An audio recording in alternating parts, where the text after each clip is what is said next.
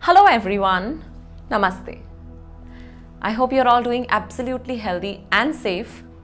And today we'll talk about something that that is worrisome for a lot of us uh, because we've been bombarded with so much information on the internet these days that we don't know exactly how to go about it. Yes, I'm talking about weight loss. Now, there are a few things that I want to quickly tell you about weight loss. It's a myth if people say that you have to go on crash diets or you have to work out a lot to lose weight um, or you have to go on a keto diet. You only have to eat protein or fat and you can't eat, eat carbs or you have to go on a low carb diet. It's not important. What's really important is that you make small little changes in your lifestyle which are sustainable, that you can do honestly all your lifetime. So, we'll be talking about a lot of such things, but I'm going to show you some of my favorite asanas that I personally do for weight loss, and I'm sure you'll enjoy. Join me on the mat. Alright, we'll start with Surya Namaskar. That's my personal favorite. The one that we are doing today is Sun Salutation B from Ashtanga Yoga. You'll start with both your feet together, hands and namaste on your sternum. On inhale, you will swipe your hands, bring them above your head into namaste, into Utkatasana. Make sure that your knees are not crossing the line of your toes. Back absolutely straight. Exhale, bend forward. You can modify by slightly keeping your knees bent and resting your chest onto your thighs. Now inhale, head up. Make sure that your back is absolutely straight. Exhale, jump back. You can modify by stepping one foot at a time, back. Step back. Come down into a chaturanga. Inhale, upward dog. Exhale, downward dog. Now I'm doing the modification. Huh? You can modify by dropping your knees onto the mat. Come down in one straight line. Inhale, upward dog. If you think that your thighs are lifting too much, then you can place your hands slightly above your chest and exhale, downward dog.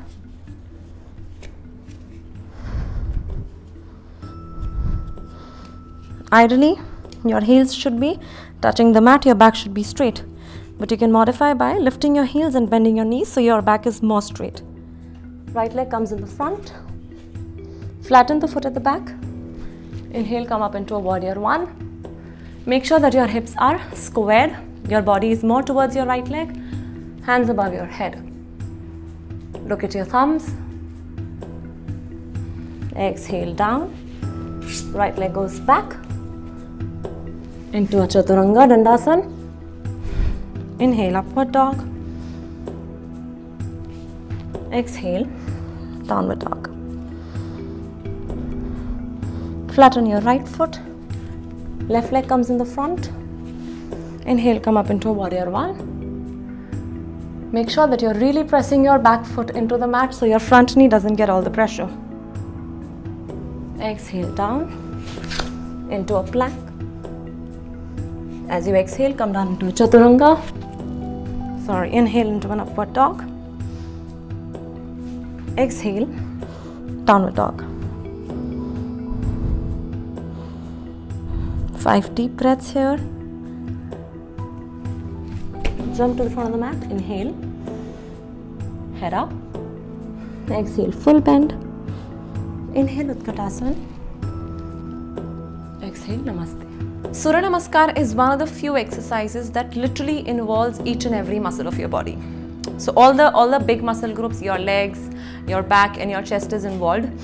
So of course the impact on your entire body, the fat loss of your body is, is way more. Now you can do this any anything between uh, say from 5 to 7 times in the beginning, gradually increase to 10, 15, 20, 30, 40, how many ever you feel like and uh, try and do it empty stomach or if you've had your meal then at least wait for an hour and a half before you do this. The next asana that we're going to do is called Naukasana which is excellent uh, to increase your core strength. It also works on your hip flexors and your quads and increases the strength of your legs in general and um, it has a good impact on fat loss also. So start with lying down on your back. You can take slight support of your hands under your hips but make sure that your back is pressed into the mat. So there'll be a slight pelvic tilt here where your back is pressed into the mat and you keep your hands underneath your hips for support. Now inhale. As you exhale, I want you to lift your legs, fold them and bring them into a tabletop. Now make sure that your toes are pointed. You'll take mild support of your hand if you feel the need and you lift your back. Now make sure that your back is absolutely straight. You pop your chest out and your chin is away from your chest. This is not what we want here and your hands would be parallel to the ground, palms facing each other. Now try and hold this posture for at least 5 to 10 deep breaths. You can do this between 3 to 5 times in the beginning. If this is a little too much for you, you can start with keeping your hands on the mat and hold it. To come out of the posture, inhale, slowly rest your back on the mat.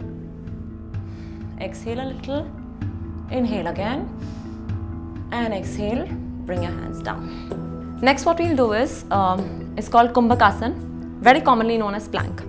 So you'll start in your all fours, both your knees on the mat, both your hands on the mat. The placement of your hands would be such that your thumbs would be pointing towards each other and middle finger pointing in the front. Your fingers wide open and your hands nicely pressed into the mat. Now, lift your knees, come onto your toes. Make sure that your shoulders are not, your upper back is not sinking in between your shoulders. So you push the floor away, push through your shoulder blades and you try and tuck your pelvis in. So right now my pelvis is not tucked in. Tuck your pelvis in.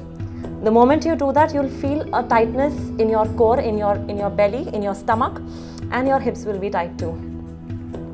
Try and hold this posture for 15 to 30 seconds in the beginning and slowly increase to 1 to 3 minutes, how much ever you. For coming out of the postures, gently drop your knees, inhale and exhale, relax into child's. Repeat 3 to 5 times Plank has multiple benefits but the biggest that I can think of is uh, it's excellent to work your chest muscles, your shoulders, very good for strengthening your wrists, and uh, it also engages your your uh, core so much that you literally you literally feel that your entire body is working a lot. Everything is working against the gravity so all your muscles are engaged and it's very good for strengthening your back also the next one that we're going to do is more like a vinyasa a flow of three asanas which is plank downward dog and bhujangasana or upward dog the reason we do this is because it, it, it also gives a slight cardio effect to your entire workout because you're constantly in motion, you're not holding something for too long. And uh, also it engages literally every part of your muscle. So you would feel that when you do it. Start with coming into a plank again.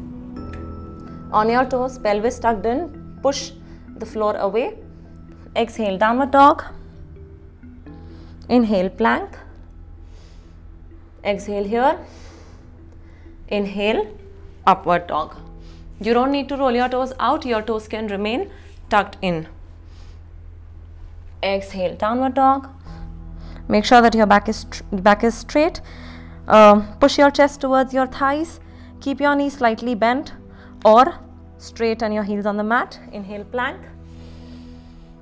Exhale here. Inhale, upward dog. Make sure that your neck is not being cupped between your shoulders. You roll your shoulders back, lift your chest, push your hips down towards the floor. Exhale, downward dog. Inhale, plank, and so on and so forth. Start with doing this at least uh, 7 to 10 times. You can take rest in between. Eventually, you can increase to 20, 30, 40. You can even, even make a workout where you do 15, 15, a set of 15, 15 of these.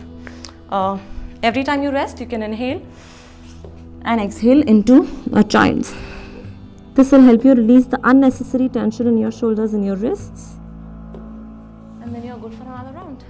The next one is, is Warrior 2, also one of my favorites. We'll start with increasing the distance between our legs to about 3, 3.5 feet. Now turn your left foot out. Make sure that both the heels are in same line. With turning of your foot, you'll also try and turn the thigh on the out outside and your right foot is going to be absolutely perpendicular. Now make sure that you're really pressing the right foot nicely into the floor because when we inhale and raise our hands and exhale, the front knee doesn't feel all the pressure. Now make sure that all your fingers and your thumbs are together and your palms are facing the ground. and you're looking at your left hand. Your left knee should be right above your left ankle and try and keep your hips squared. Right? This will really help you open up your groin. It will work on the quads of your of your bent leg strengthening your legs from there try and keep your stomach nicely pulled in and hold this for at least 30 to 45 seconds in the beginning. You can increase it to one one and a half minute and practice this at least three to five times. Switch legs practice on the other leg also. To come out of the posture you will gently inhale straighten your leg. Fold your left foot in turn your right out inhale again and exhale bend your right knee. All right, so incorporate these asanas, these postures into your routine and within no time you'll start seeing yourself into a better shape. But along with all these exercises, all the physically strenuous exercises that we just did, please maintain a healthy diet. Eat home cooked food, try and sleep early, get up early or at least sleep for 6 to 7 hours, drink a lot of water and stay healthy. Thank you.